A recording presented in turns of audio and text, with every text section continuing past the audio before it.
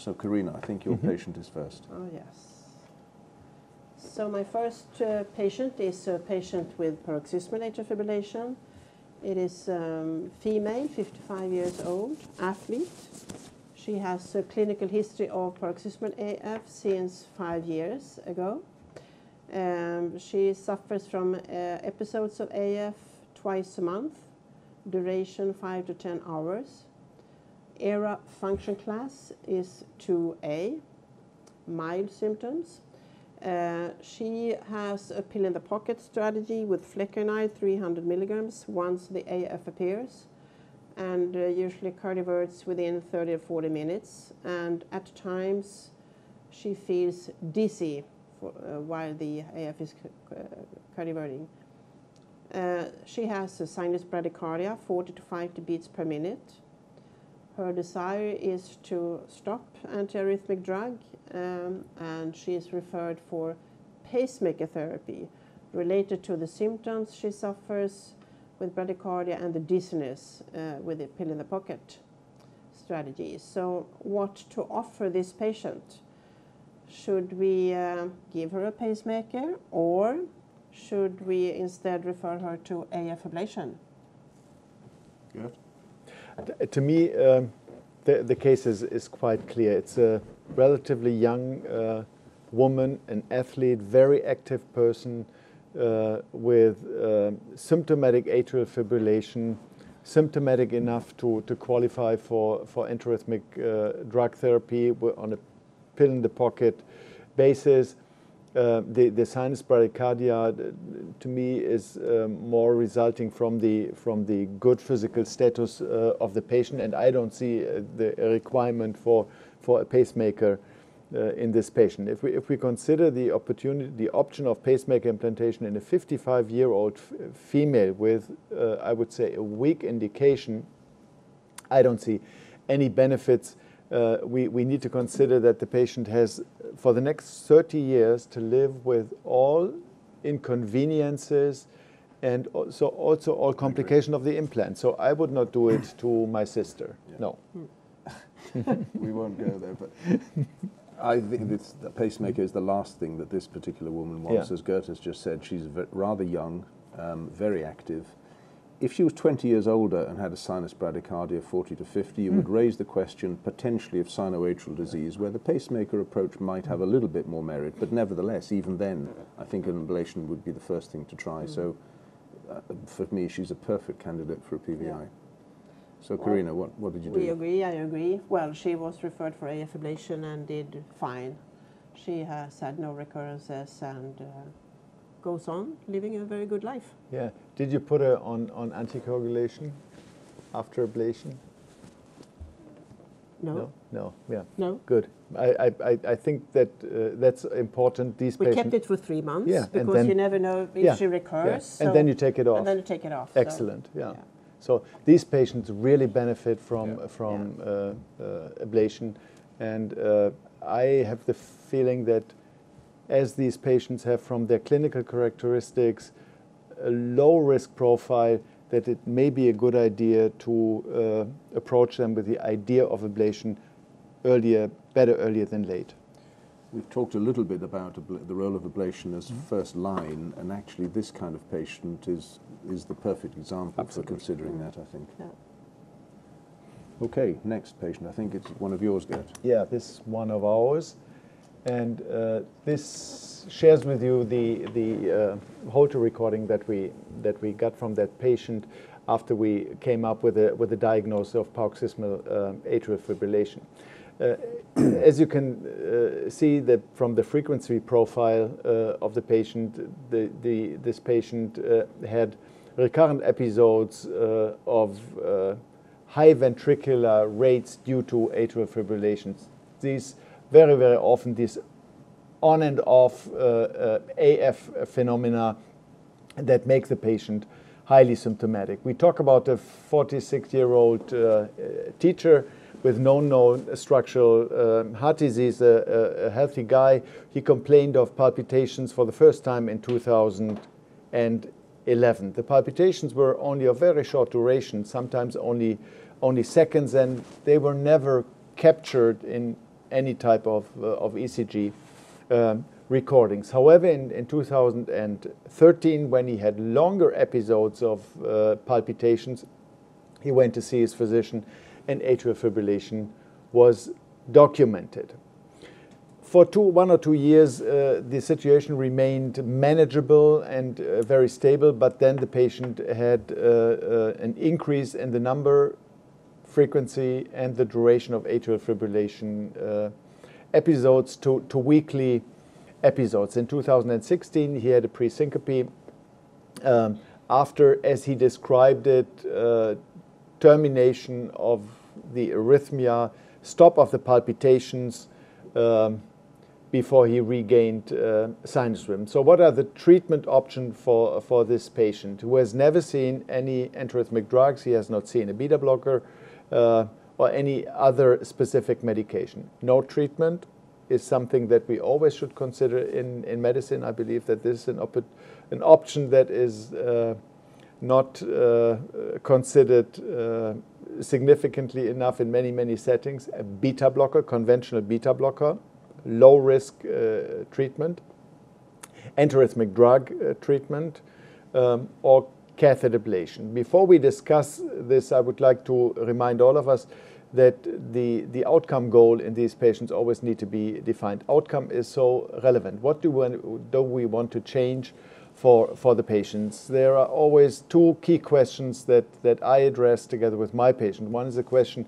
will we, will we improve quality of life? And the other is, will we improve quantity of life? And I believe that with any intervention, one of the two questions should, should be answered with a clear yes, better if we can answer both questions with a, with a clear yes before we proceed in any intervention. So, what are we going to do with this teacher, Carina?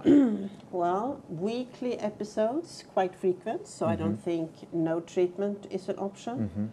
Uh, of course, you would have to discuss very thoroughly with the patient what the alternatives are.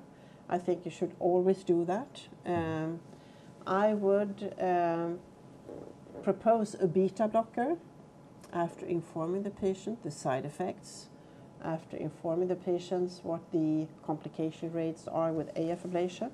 Mm-hmm. And if the patient resists, mm-hmm. I, of course, would also consider a first line uh, treatment with AF ablation. But I would probably start off with a beta blocker. And if that fails, I would recommend AF ablation in, in, this case. Do you have any concerns on a beta blocker about the presyncope post-termination? Yeah, that could be a problem, mode? but on the other hand, if, if uh, the patient receives a beta blocker, that better regulates the heart rate, so the syncope may disappear.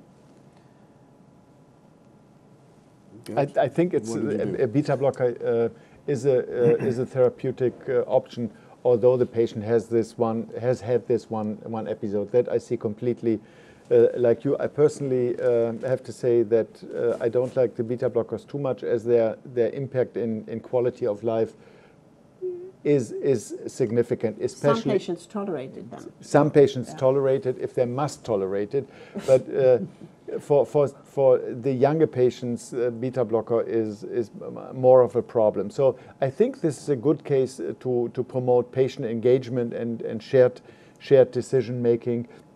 Many, many patients uh, can, can clearly understand the, the different uh, therapeutic options that are on the table and uh, they can decide what they would like as their preference. I can very well recall when we in 2010 for the first time ever introduced the, the uh, um, patient choice uh, symbol into, into the, uh, the guidelines, that it was also uh, commented uh, with, with uh, some, I would say, refusion or rejection from, from the physician side. But it's, it's a good approach, and the patient plays a key role in the decision making process. So we offered to the patient beta blocker, we offered flecainide uh, therapy, and I agree with you, continuous treatment does make more sense if you if you uh, are dealing with uh, weekly episodes or catheter ablation with the goal, the outcome goal, improvement of quality of mm. life. Yeah. The patient underwent ablation. Uh, he had a recurrence, unfortunately, a couple of weeks after the, the ablation uh, procedure and underwent uh, one more reablation procedure and is currently doing fine. So you were reablated after an episode at two weeks, which is well within the three-month blanking period. Um, so mm-hmm. are you regarding the three-month blanking period as one for scientific purposes, mm-hmm. or do you apply it clinically? Mm-hmm. No, we, we performed the ablation uh, in, in the window uh, more than three months after the initial okay. ablation pre- uh, period, uh, ablation timing. Um, I believe that, that uh, both is true early recurrence predicts late recurrence. If you see a patient with a recurrence early after ablation, keep an eye on him or her. The likelihood that you will see them again with recurrences is significantly higher as compared to the patients with a clean early ablation follow up. But on the other side, it's also true that in patients with early recurrence, late cure may occur. So it's always advisable to wait at least three months, uh, then rediscuss uh, with the patient, and, and then take the decision. There are only very few exceptions, mainly in patients with, with advanced structural heart disease, where you convert atrial fibrillation into otherwise untreatable left atrial macro-reentrant uh, tachycardia with, with ventricular rates of 140 uh, beats per minute that all do not time. yeah all the time, yeah. and then then you have to re-intervene. Quite rare with PVI only. It's it's yeah. yeah. but this is also due to the fact that in in most centers the the, the PVIs uh, with cryo uh, were uh, performed in patients without significant structural heart disease. Okay, two cases of paroxysmal AF indicating how successful PVI can be. We now have a couple of cases of persistent, which mm -hmm. I mm-hmm. hope to fit in before we have to leave. So, Carina. Yeah, the next uh, case is a patient with persistent AF, 65-year-old male patient, post myocardial infarction. He has had heart failure since two years, New York Heart Association function class 2, EHRA class 3. Of course, sometimes difficult to differentiate uh, what is what. Left ventricular uh, ejection fraction 0.3, uh, left atrial size 5.5 centimeters. He has a clinical history of AF since one year only, cardioverted every second to third months. He has had previous thyroid disease and amiodarone is contraindicated. It was a thyrotoxicosis. So what to offer this patient with persistent AF and heart failure? AV ablation for rate control and CRT pacemaker or go for AF ablation. The patient uh, has expressed a desire for AF ablation. I think this is a difficult clinical scenario. Yeah, yeah absolutely. It's, it's, and it, it brings us to the, the second most frequent clinical scenarios where, where decision making on, on therapeutic strategy um, is, um, is, is needed, frequently needed. The prevalence of heart failure mm-hmm. incre- has increased over the last year. It will further increase over the next year. So it's so important to, uh, to focus on this subset of, uh, of patients. And the key question when it comes to the, to the explanation of the symptoms is is the patient symptomatic because of the atrial fibrillation or is the patient symptomatic because uh, of his structural heart disease and, and heart failure uh, state. He's post myocardial infarction, so he has a significant structural heart disease on the ventricular level. This reduces a little bit the likelihood that he may profit symptom wise from rhythm control uh, strategy, but it, it, does not exclude it. Um, so the, I had a question along mm. that. Be cardioverted every second or third month, which suggests that there were six, eight, yeah. ten week periods of sinus rhythm. Exactly. How was yeah. he? He yeah. improved okay. after cardioversion. So okay. that's why we could give, okay. we could evaluate the and function his, class for heart failure. Did his ejection fraction improve in those times? Was there any? No, it was the same. Ah, mm. okay. But it's a short time also, three it, it months is, to improve. So but nevertheless, it would have been nice to see. And the left atrial size obviously is larger than you'd like for an ablation. Yeah, well, 5.5. Okay, that's your. So But those are the issues, aren't they? Those Mm-hmm. sort of. Um, Well, there, there, there's, uh, there's amida, there would be in general an amiodarone uh, opportunity for this patient that I don't like. In this patient, it's not, a, not an opportunity. ablation. Quite Yeah, young, yeah. he's 65 only. Yeah, He's yeah. not No. an elderly patient. Um, pace and So- ablate, AV nodal ablation, and, and CRT. I mean, the, the, the patient uh, would qualify for primary prevention Mm-hmm. Post myocardial infarction.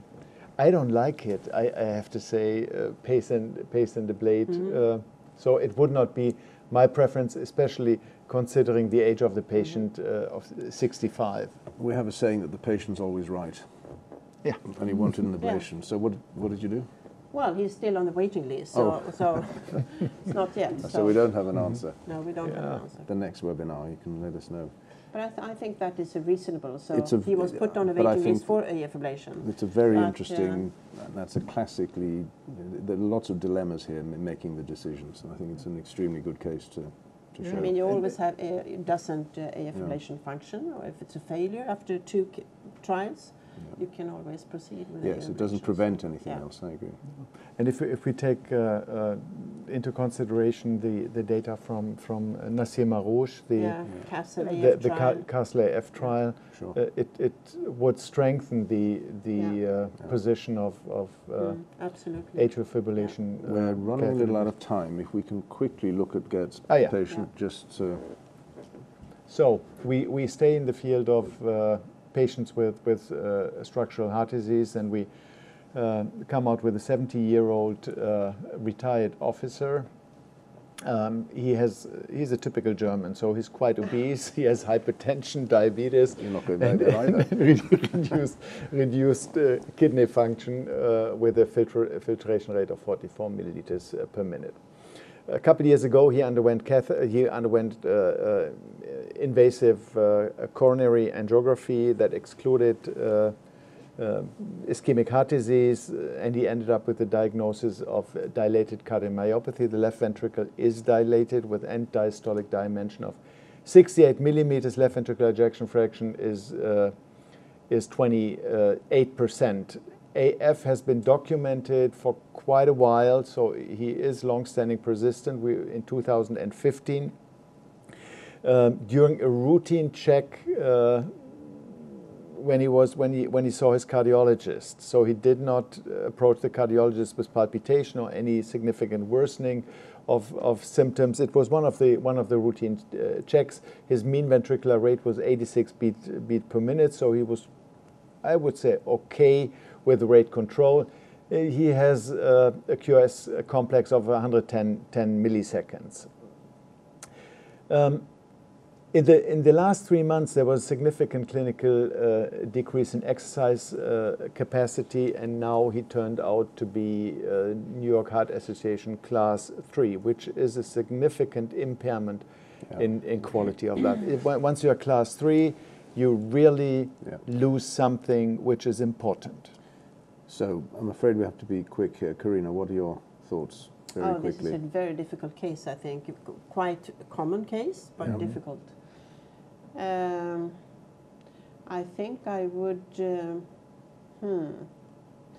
Rate control is pretty good, 86 Not bad. beats per minute. Yeah. It's not very bad. I don't know how he's doing while he's uh, strenuous exercise. Um,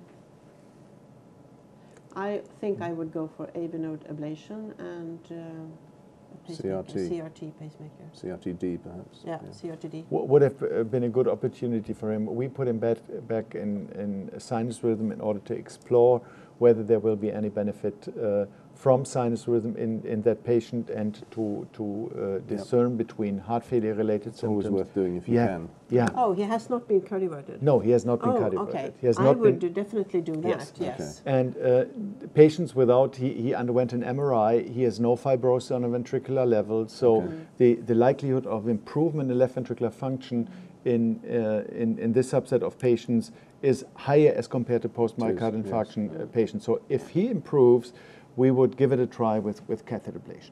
It's important to remember that the dilated cardiomyopathy is often secondary to the AF, not uh, because of, not the AF secondary to it, and I've, that I hadn't appreciated that the DC cardioversion had not been tried, but I, I completely agree with Mm. that. It's, uh, it's Yeah, I think that should be tried first. Mhm. Yeah. Absolutely, yes.